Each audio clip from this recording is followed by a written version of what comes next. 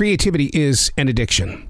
Yeah, you're born with it. You're going to die with it. But along the way, it's going to tear you apart and you're going to have days of victory. But more importantly, there's going to be days where you need it to be there and it doesn't want to show up because it's acting like a two year old child.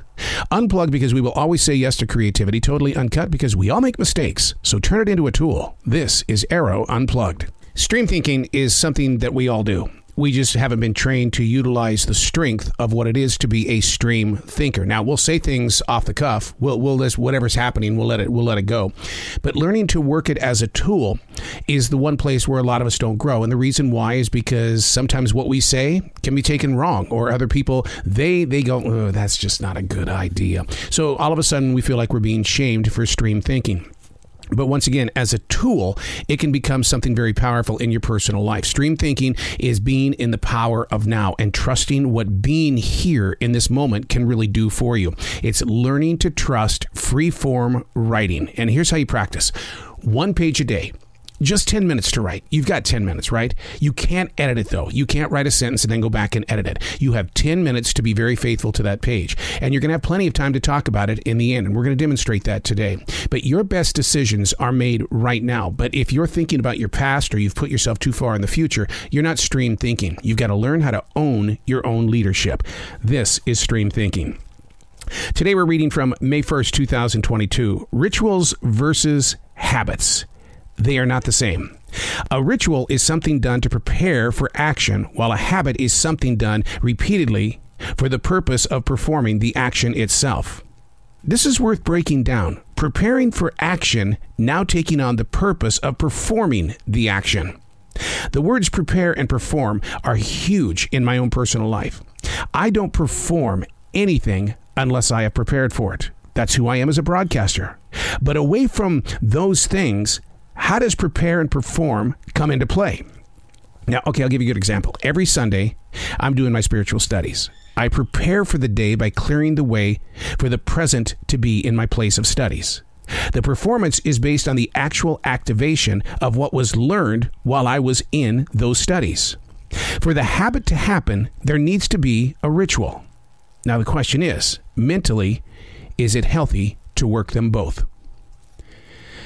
That's a tough cookie. Rituals versus habits. I've often accused myself as being a daily writer by way of habit, not necessarily by ritual. Habit because I have done it every day since July of 1994. That's a habit. But in reality, when you go into the pages and you really start studying the words that do flow by way of stream thinking, then you go, wait a second.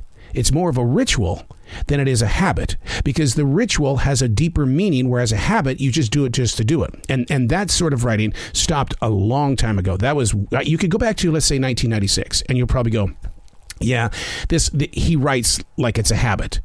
But as you get closer and closer to the new millennium, as I matured as a daily writer, all of a sudden you begin to realize that the way you think, the way you act, the way that you do things with others is more of a ritual than it is a habit.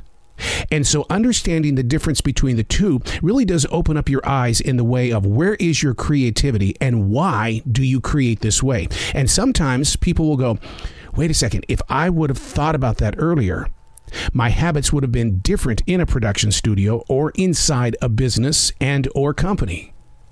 Deciding what you want to do is a big thing. But we live in a world nowadays where what you want to do and what you physically do are two different things.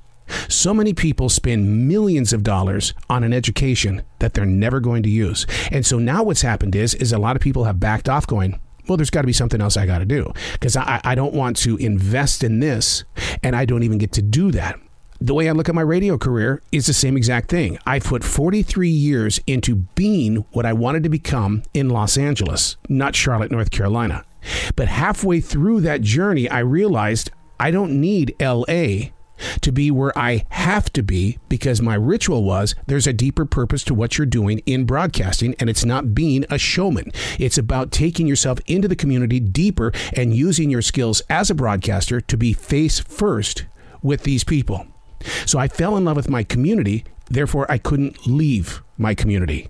So the broadcaster in me, the habit maker, is the one looking back going, dude, you coulda, woulda, shoulda. Whereas the ritual person is going, you're fine. Thank you so much for being truthful to your destination. Something to think about today. This is Stream Thinking.